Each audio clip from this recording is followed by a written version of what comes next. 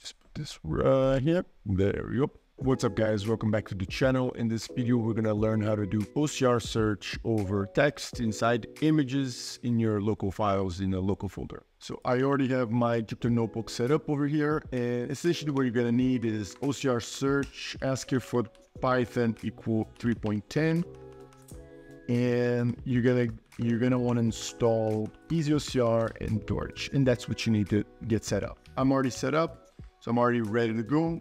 I'm gonna import OS typing. Uh, I'm gonna import lists from the type checking, so we do type checking on the functions, and EasyOCR to do the heavy lifting of the OCR. Then we're gonna set up two functions. One to scan the um, images for text, and the second one to loop over the image inside of a folder. So and before we do that, of course, we gotta set up the reader OCR. So we're gonna set up reader equal to easyocr.reader. We're gonna give it the English language. And here I'm setting up GPU to true because I have a GPU on my machine. But if you don't, just set this to false.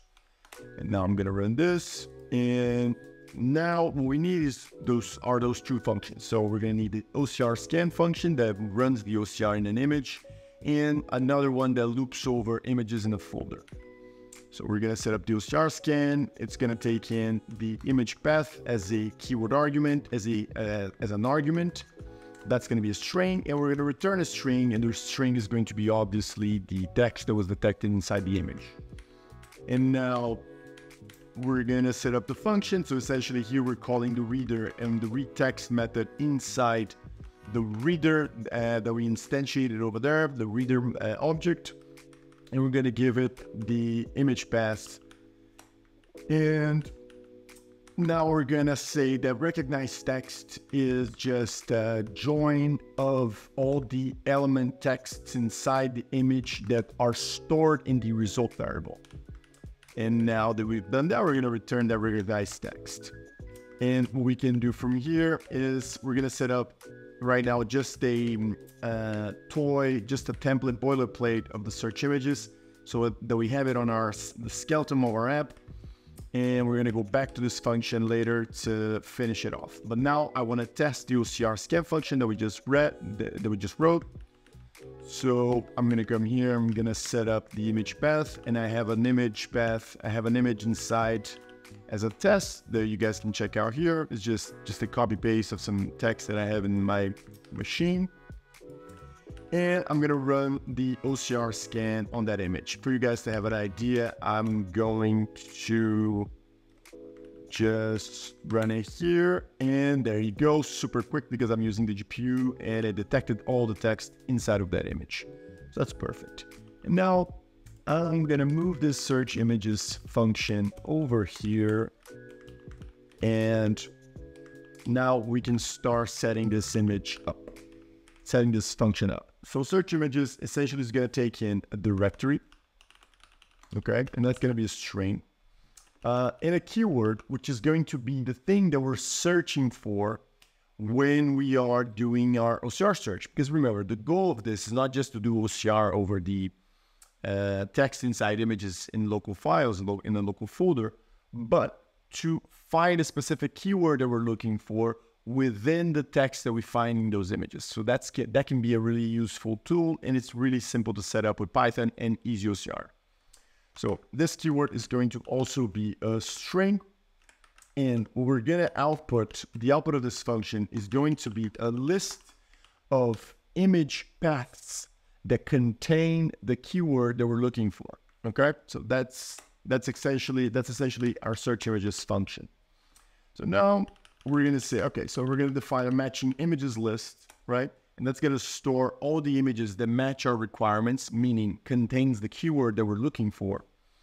And we're gonna say, okay, so for root and then directory and then files in os.walk directory, okay?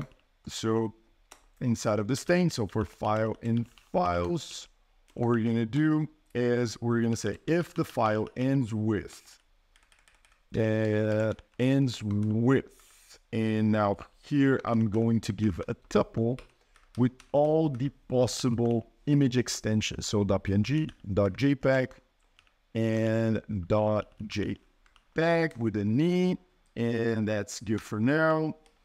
And we're going to set up image path. So join gluten file. Perfect. That's GitHub Copilot already recognized that that's what I want. Then we're going to get the text. So let's say detected text. Detected text is equal to OCR scan image path. And then if the keyword dot lower in record in the detected text exactly detected text the lower so now I want to make everything lower so it's easier to search for. We don't want to have issues where there's some capital, um, some some letter characters that are capitalized, and then from that reason we don't find the keyword that we're looking for. And now I can say, all right, so if that happens, if we find our keyword, we're gonna append that path to our matching images list. Finally, at the end, we're going to return the matching images. And that's going to be what we're looking for. So now to test the search images, what we're going to do is I'm going to give the current folder as uh, the reference. And the keyword, I'm going to set up keyword equal to, let's take a look at this one. So this one, image test, if we came here, we would see no one for Windows, please, the official instructions here. So this is some random text that I just copy pasted from my screen somewhere, I don't even know where. So now let's look for the word note, okay? So that's the one that's written inside this thing here, just to see if it works. So I'm gonna say keyword equal note, and what I expect to happen is it should return a list containing the name imagetest.png as the response. So let's see if that works. So we run it and no, it doesn't. It says type list cannot be instantiated, use list instead. And that's where, where, where, where, where, list string. That should be correct. Ah, yeah, because, yeah, oh, sorry, that's my mistake. That was my mistake. I should have done this. And there we go. We found it and we return it. So this thing is working. So what we're going to do is we're going to transfer all of this code to an application that we can call from the terminal. So I'm going to open up another file here on VS Code. I'm going to say OCR search.py. And now I'm going to put that on my right and I'm going to come back here and I'm going to come here to my notebook. I'm going to copy these two functions to my right uh, yep, perfect. We're gonna come here. We're also gonna copy this one. Yep. And we're gonna copy the setting up. So this thing. And now we're gonna copy the imports, obviously. Boom. The imports are all there. And all we need now, let's remove this and let's remove that. And all we need now is a main function that's going to contain the CLI tool that we're going to use so that we can call all of this from the terminal. Okay. So that's what we're going to be doing. So this one is define a CLI tool that allows for OCR search for a keyword over um, images in a local folder or a single image. That's what our main function is going to be doing. Let's set up this thing here and set up this thing here. So now with our main function, what we're going to be doing, I already have it here, so I'm just going to copy one line by line so that you guys can take a look and see what we're what's going to be happening. So now we're going to need argparse so that we set up our CLI tool and let's write it up. So we don't need this part of the Jupyter notebook anymore. Okay, so our main function is going to be, so we're going to set up our parser. Okay, so we're going to set up uh, argparse dot argument parser. And then that's, we're going to give it a description. The description is going to be uh, OCR search over local images. Uh, add an argument, and then we're going to say, this is going to be our directory so where we set up the directory, so it's going to be called directory, and the type obviously is going to be a string, and this is the directory containing the images. Perfect. And now we're gonna say parser.add argument. The first one here is going to be the keyword, so KW. Uh, and then here we're gonna say minus keyword. And we're gonna say type equals string as well. And we're gonna say help equal to uh, this is the keyword text. We'll look for. Perfect. And now that we have that, we can add uh, the option of a single image. So we can say parser dot add argument minus i.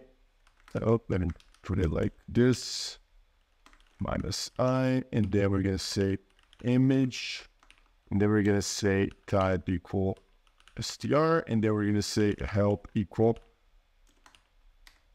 the image to scan the single image case to scan. Now, the single image to scan is better. Yeah, perfect. Now that we have these things, we can just get our arguments. So we can say args equal to parser dot uh, parse args, right? So now we can, you know, leverage arguments. And then if the directory is given, then we're going to say, well, matching images is equal to search images. Uh, and we're going to fit in the directory. So we're going to say uh, args.directory uh, and args.keyword.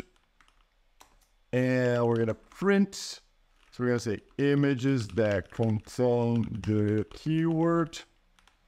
And we're going to loop over the matching images and we're going to print those images. That's called, instead of calling image, we're going to call it image name, image path, because those are not actual loaded images, but they're paths to images. Now, in the case that we don't define the directory, that means that we want to scan a single image. So we say, okay, and what is the detected text for that single image? That's perfect. And then that's correct. Our image contains the image exactly. So we say, okay, uh, if that is inside, we say detected image in the image, and then we're gonna say this, this, this, and we're gonna give the image, uh, and we're gonna say uh, scan the image, and then we're not gonna have a path over the image, so we're gonna say just the detected text. So keyword detected in the image.